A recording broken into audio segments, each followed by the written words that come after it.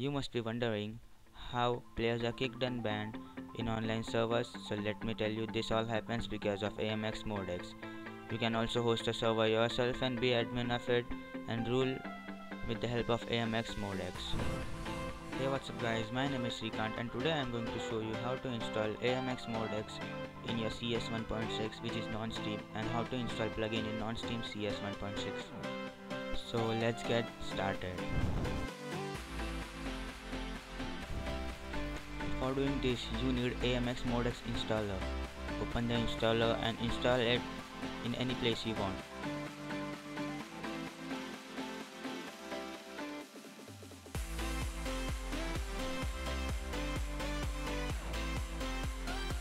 After installing it, open the one more installer which is included in the installed file.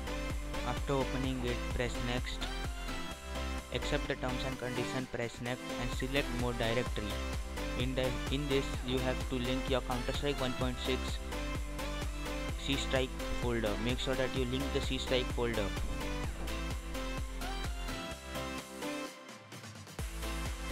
After that press finish. As i have already installed it i got a pop-up. You will not get it. After that go to the game. Start it with the bots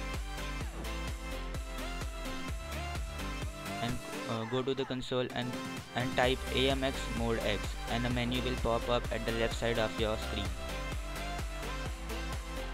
Now I'll show how to install BunnyHop plugin in CS 1.6. First you have to download bunnyhop.amxx, link will be given in the description. After that you have to copy it and paste it in Counter Strike, C Strike, add-ons, AMX Mode X and plugins.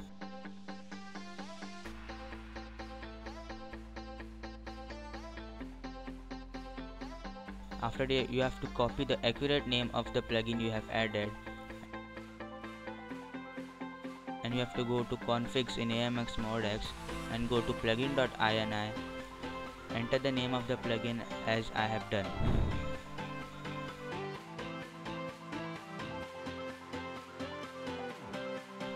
After that you have to go to the game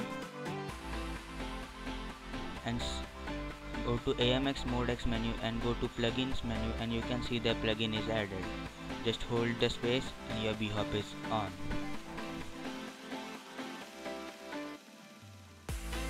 Thank you guys for watching. I am Shrikant. I will catch you guys in the next video. Please do like, share, comment and subscribe.